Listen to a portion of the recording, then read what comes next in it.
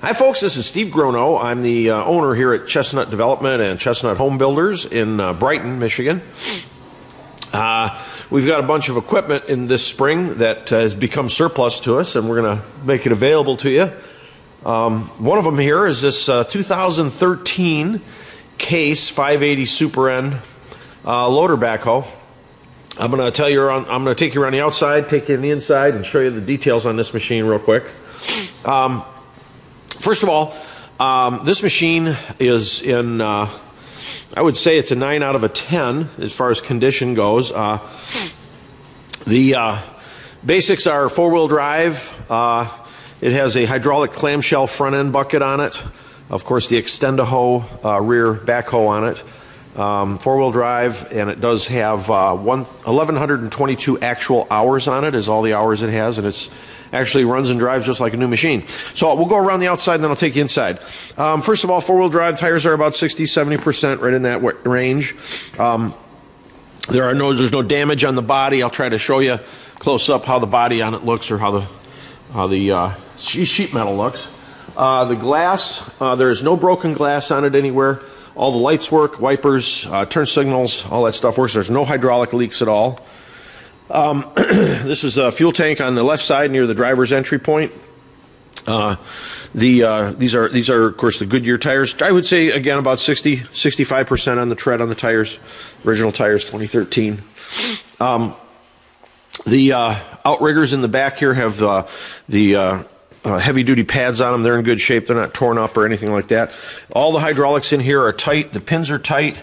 There is no slop or play in anything when you operate this machine. It can be surgical. You can you can get right up close and personal anything you're trying to expose or any kind of underground work you're trying to do without any issues. These three windows all drop down, of course, for the operator to run the backhoe.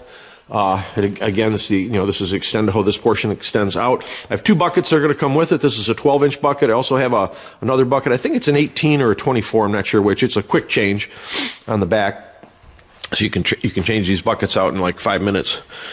Uh, coming around this side, um, again, I'll just show you the hydraulics and the grease connections and all this stuff. It's all good, tight, clean, no no slop or wear in any of this. It, uh, same tolerances as new. All these lights and stuff work good when you're digging, you know, at dusk or in the uh, evenings. Um, again, the tires are in nice shape. I'll show you this one. It's, it's got uh, pretty good tread, 65% or so. Uh, and again, this side of the cab, no, no damage on the glass, side lights. It does light up everything around it when you're running this at night. Um, over on the right side here, you have access to your batteries, and uh, this one is for your hydraulic oil on this side. Um, uh, again, glass is good. Exhaust stacks all clean and nice. Here's a little close up of some more of the body. Power steering, of course, and there's your front right there. Has a large counterweight in the front of it for the uh, backhoe attachment. And here's the hydraulics and the front end bucket portion of the machine right there. These are the hydraulic cylinders on each side that open up this clamshell. So this bucket opens this way. You can reach over the top of boulders and rocks and grab them and pick them up. Um, that's a handy little feature. It has three hooks on the top of the bucket as well.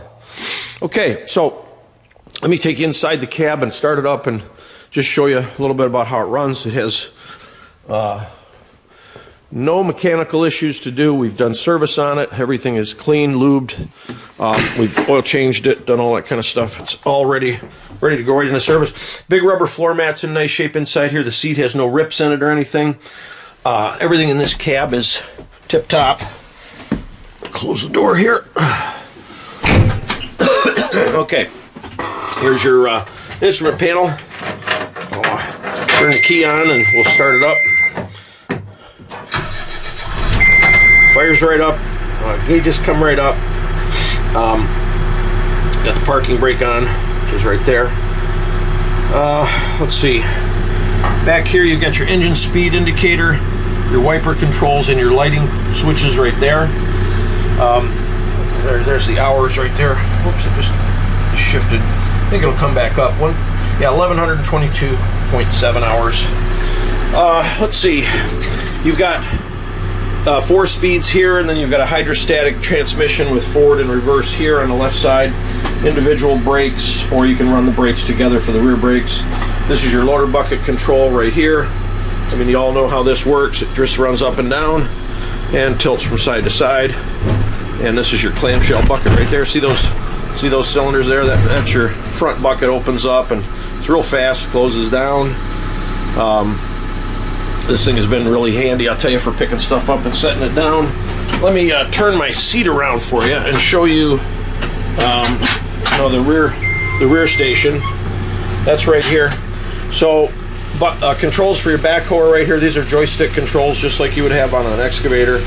Um, these are your outriggers, uh, up and down on your outriggers. This one's, you know, running down. There are no leaks in any hydraulic system on this rig. And there's that one. This is the left side running that up and down. Um, the right-hand joystick over here, throttle control, all that stuff is operating fine. There's an extra quick pin sitting right here for it. Uh, again, these windows drop right down and you can operate freely and look right at your work while you're uh, doing your thing. So, I don't know, there's not a whole lot to talk about here other than the machine is, is right. It's, uh, it's running good. There are no issues with it. You don't have any uh, repairs to do and I, uh, you know, guarantee it to be the way I'm representing it, 100%. So if you have any questions on it, you want to call me. I'm at 810-599-5147. That's my cell number. Uh, the machine's located right here um, on Chilson Road in Howell, where we live.